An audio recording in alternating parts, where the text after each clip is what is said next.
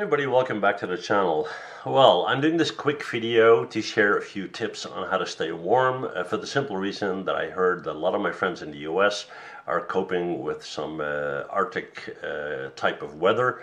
Uh, pretty extreme, uh, apparently most extreme uh, weather since 30 years. So here are 10 tips that I want to share with you guys that will hopefully make a little difference, right? Now keep in mind this can be anything from a simple tip to a absolute survival routine, right? So let's start. Okay, so first of all, if you have to, then pick one room in the house and make sure that's the room you keep warm, right? So kind of move your living space to that room. Uh, don't go with the biggest room in the house. Don't go with the smallest room either. Uh, but make sure that's a comfortable room, that you have a good temperature to, to be in, and even maybe sleep in that room, okay? Now, um, when you do that, and this is tip number two, um, cover the windows. And depending on whether they are sun facing or not, if the windows are sun facing, then you would uh, cover them from the inside, preferably with something like, uh, you know, Saran wrap or plastic or something like that, right? Meaning the sun has the ability to warm the air between the window and the plastic and that will be kind of a heat buffer. But you still have the opportunity for that sun to come in. Now if there's no sun on that window at all during the entire day then uh, board it up or cover it up with like cardboard uh, just to keep out the sun and block the air between the two layers okay? All right what else? Um, Okay, so if you uh, have to choose, if you, let's say, uh, grid's down, you don't have any electricity, you don't have any gas or anything like that, choose to heat the person instead of the room. Focus on wearing layers on your uh, person instead of spending all your energy to heat up the entire house, for example, right? It's much more efficient. Uh, anywhere you go, the warmth goes, and uh, just work in layers, okay? Whatever you do, don't wear very tight clothes. No pinching, no uh, squeezing into stuff. That is a guaranteed way to get cold very fast. Alrighty. Okay, what else? Um, if you're looking for something that's an absolute perfect insulator, then use newspapers. Wearing newspapers under your clothing is a great way uh, to keep out wind, right? And therefore retain heat. Now, basically anything that can keep uh, air trapped would work. So if you have, let's say, layered cardboard, uh, you know, there's a reason why homeless people sleep on cardboard because it keeps out the cold, right?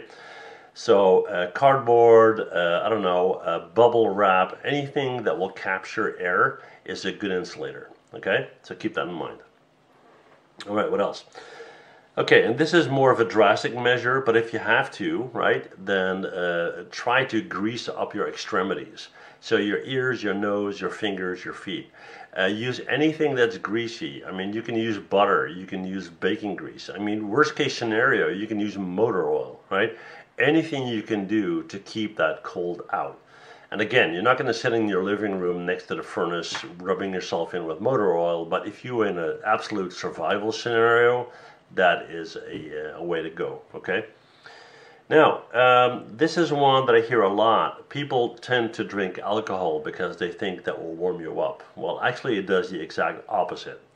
So if you want to avoid cold, then do not drink alcohol.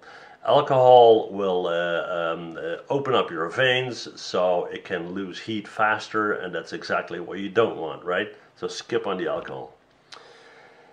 When it comes to food, okay, so uh, eat uh, fat food. Now, I'm not talking about fast food, I'm talking about healthy fat food.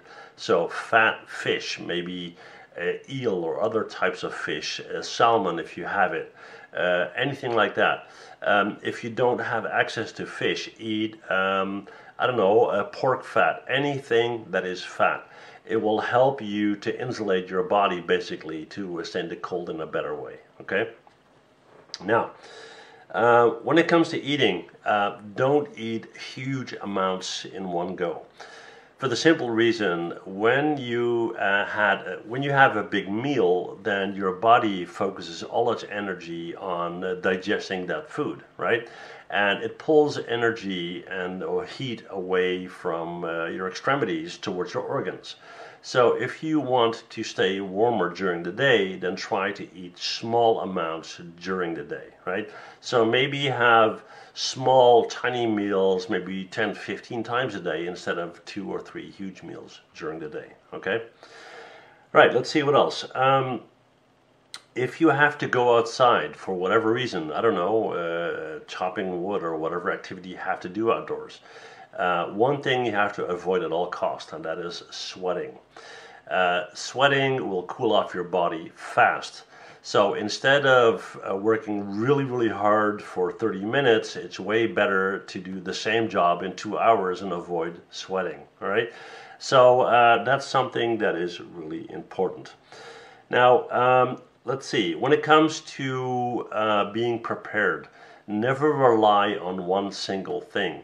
If you have propane gas tank outside and you're like, okay, I'm all set for heat and it freezes, then what, right? So you need to have multiple solutions. Let's say water stops coming out of the faucet. Make sure you got buckets set up inside with water in it just to carry you over for a number of days, right?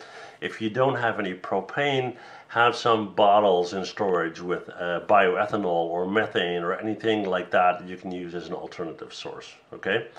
So yeah, that's all I wanted to share in this quick little video. Just a few tips for my friends. Hopefully it's uh, helpful in some way. Uh, be really careful, uh, stay safe, and I hope you guys all make it through okay. All right? See you guys soon. Bye.